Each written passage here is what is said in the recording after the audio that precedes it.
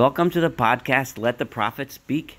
This is Yeshayahu, Isaiah 10a, and this is Saul Weinreb, your host. Although we are starting what is numbered as the 10th chapter of Yeshayahu, this is really a continuation of the previous chapter. This is another place where the Christian numbering system got the chapter numbers wrong. So this really should be called 9c, because this is really a continuation of what we were studying in chapter 9.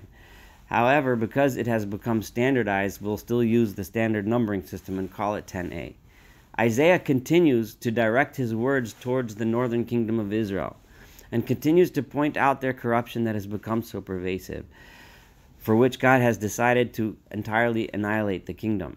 However, today Yeshayahu gets much more specific and gets down to the core of the corruption that is irredeemable. He has spoken so much about tzedek umishpat, justice and righteousness, but he elaborates further. Hoy hachokikim, this is verse 1. Hoy hachokikim chikike oven, umechatvim amol kitavu. Woe is to those who, who write laws, laws of sin, laws of iniquity, laws of corruption, and when they write their constitutions or or their proclamations, their their writings and their uh, legal decisions are all written in in in uh, in documents of iniquity and sin. How is this? Lahatot din dalim viligzol mishpat aniye ami. The purpose of their entire system of so-called justice is in order to to twist the law and to twist it against the poor and to steal through just through supposed justice to steal from the poor people of my nation says god. Liot almanot shilalam v'etithomim yavozu. Such that the widows become their booty and the orphans they're they're, they're abusing them and taking taking away their property. So why is this that the corruption has become so deep? What does it mean when you have a society that which is lacking in tzedek mishpat, justice and righteousness, when the courts, laws, constitutions are meant to further enrich and empower the powerful, and conversely to impoverish and cause suffering to the poor. Contrast, uh, choose a document that we know of, a law document, say the U.S. Constitution, which at least was meant to bring equality and justice and opportunity to those that didn't have it before. Contrast that with with with laws and measures that were passed in order and designed to enrich large corporations, to enrich the wealthy, to exploit the masses. This is the true test according to Yeshayahu. Remember, the end of his this is the end of his speech to the doomed northern kingdom. Ultimately, what does it boil down to? If you build a society based on exploiting the most vulnerable of society, your society will be destroyed.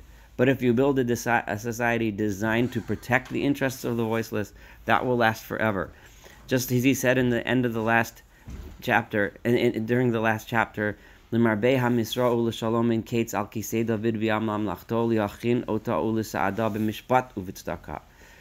Then vi'ata vi'at olam.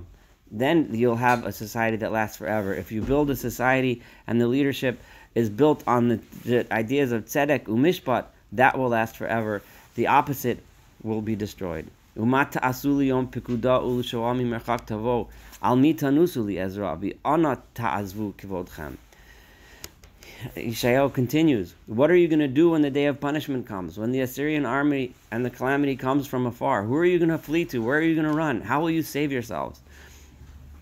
In general, we know there are two ways, the Malbim points out, that people can that, that people can act when an invading army comes. You can surrender and enslave yourself to the oppressor, or you can fight with honor. But now you have no place to run to. Your helpers are gone.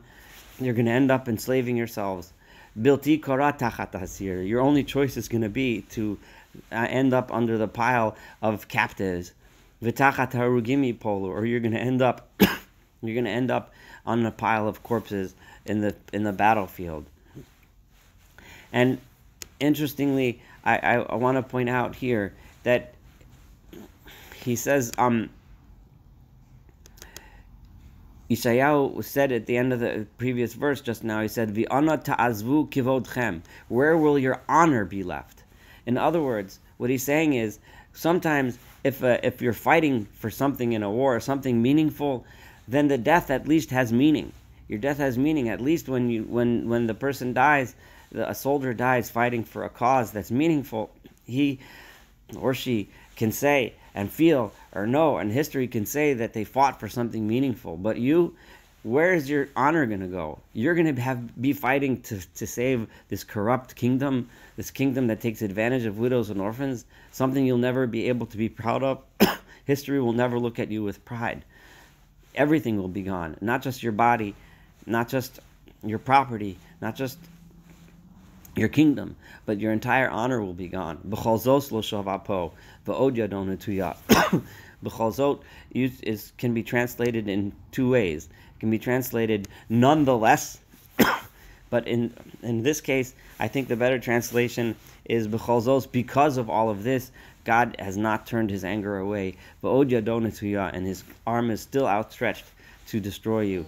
Um, and uh, and this is again the same ending that he said repeatedly. Every few verses uh, would end with these words as he criticized the northern kingdom because of all of this because of all of this because of all of this. And this is the last set one of that set. Because of all of this especially the last one which he mentioned the the corruption that is why God will not turn his anger away from you and that is why the kingdom will be destroyed. This concludes um, this uh, section. Uh, we will continue with 10b. Thank you for joining us. Looking forward to seeing you for our next podcast.